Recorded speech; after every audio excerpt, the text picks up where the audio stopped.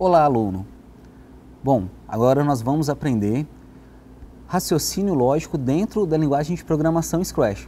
Após você baixar o programa Scratch para o seu computador e instalar ou utilizá-lo online, vou mostrar para vocês agora quais as opções que vocês têm dentro desse sistema para vocês poderem desenvolver seus jogos, seus roteiros, seus clipes e sua criatividade em geral. No bloco movimento, é possível mover os atores à direita, à esquerda. Vocês podem perceber que a tela ela é guiada pela posição X e Y dentro de um plano cartesiano. Vocês podem direcionar qual é o número dentro de X e Y que o ator vai se movimentar. Ele pode se deslizar durante alguns segundos entre uma posição e outra. Ele pode modificar a sua direção para algum número X ou Y. Nesse sentido, o bloco de movimento vai auxiliar vocês a movimentar o seu ator dentro da tela no qual vai ficar o seu programa ou o seu jogo. Há também o bloco de aparência. O bloco de aparência permite que você faça o seu ator falar por alguns segundos, permite que ele possa pensar em alguma informação, você pode mostrar o ator, esconder o ator, pode mudar a cor dele.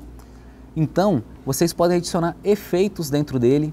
Então, no bloco de aparência, vocês podem modificar ele à vontade e unindo ao bloco de movimento, ele pode andar e modificar a sua fala, modificar o pensamento.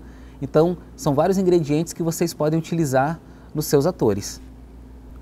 No bloco de som, vocês podem inserir sons que já vêm dentro do próprio, da própria linguagem de programação Scratch podem inserir sons que tem no computador de vocês, podem é, utilizar o programa de som para você poder pegar apenas uma fala que você queira.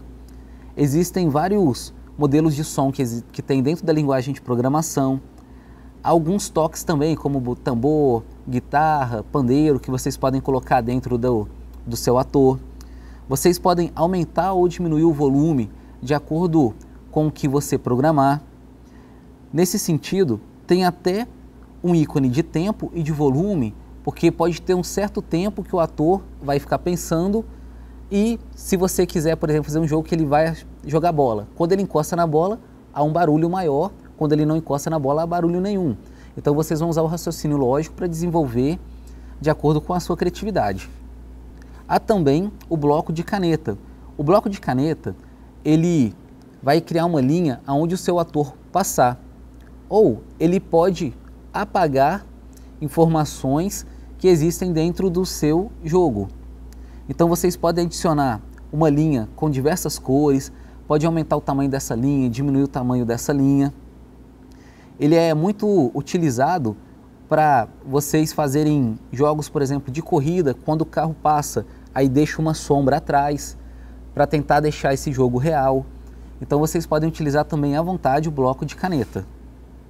O bloco de dados, vocês vão criar variáveis. Como assim variáveis? Vocês podem fazer um jogo, por exemplo, de Street Fighter. Quando um ator acerta o outro, ele diminui a sua pontuação. Então você pode criar uma variável, por exemplo, chamado é, força. Começa com 100. Toda vez que outro ator encosta no seu ator principal, ele diminui 5. Aí 100 vai para 95, depois vai para 90. Então vocês podem programar que quando a pontuação chegar a zero, o jogo termina. Então esse bloco de dados é para poder criar variáveis dentro do jogo para poder interagir. Por exemplo, eu tenho alunos que criaram jogos de Olimpíadas. Aí eles colocaram aquele tiro ao alvo. Toda vez que ele acertava o alvo, aumentava a sua pontuação. Tem o bloco de evento. O bloco de evento é muito utilizado. Você consegue fazer com que o ator interaja com o seu teclado.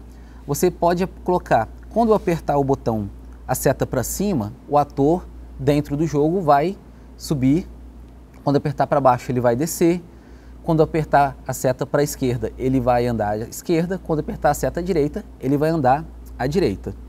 Nesse sentido, vocês podem programar o seu ator dentro do jogo para poder movimentar de acordo com o que você quiser utilizando o teclado. O bloco de controle ele é muito interessante porque você pode colocar uma repetição. Por exemplo, quando eu apertar para frente, o ator vai andar à direita. Se eu colocar uma repetição, que eu quero que quando eu apertar para frente, ele ande à direita cinco vezes. Eu coloco para repetir durante cinco vezes quando apertar o botão que é para pedir para ele andar à direita. Então, tem controle de repetição, controle pede o ator para esperar até uma hora que você apertar um botão. Também existe o bloco de sensor. O bloco de sensor ele é muito utilizado quando vocês vão criar jogos ou clipes, quando um ator encosta no outro acontece alguma coisa. Então, aí tem o sensor de toque, o sensor de toque na borda do seu jogo, tem o sensor que quando aperta alguma tecla o ator vai fazer algum movimento. Nesse sentido, existe até o Kinect. Tem como você conectar o Kinect ao Scratch. Aí quando você conecta ele ao Scratch, você vai ligar esse sensor. Você pode ligar para o seu ator fazer tudo que você na frente do Kinect está fazendo. Então se você mexe o braço, o ator automaticamente mexeria o braço. Mas nós não vamos estudar o Kinect nessa disciplina. É apenas para motivo de informação. Também tem os blocos de operadores. Esses de operadores por exemplo, a gente faz uma, é, um jogo de pergunta e resposta. Vocês podem colocar, ao fazer pergunta 1, quanto tempo que o usuário vai ter para responder. Aí ali vocês podem colocar 10 segundos, 20 segundos.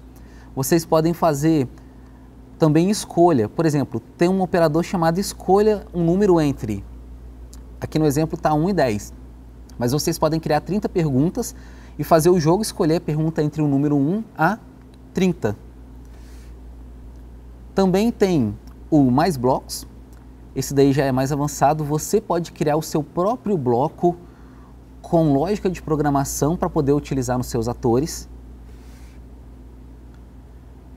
E por fim, vocês vão poder colocar em prática agora essa introdução sobre o que é possível fazer com o Scratch. Agora vocês já conhecem o que é o Scratch e durante o curso vocês terão mais informações sobre como você vai desenvolver o seu jogo ou a sua animação na prática e apresentar ao seu professor. Muito obrigado e até a próxima aula.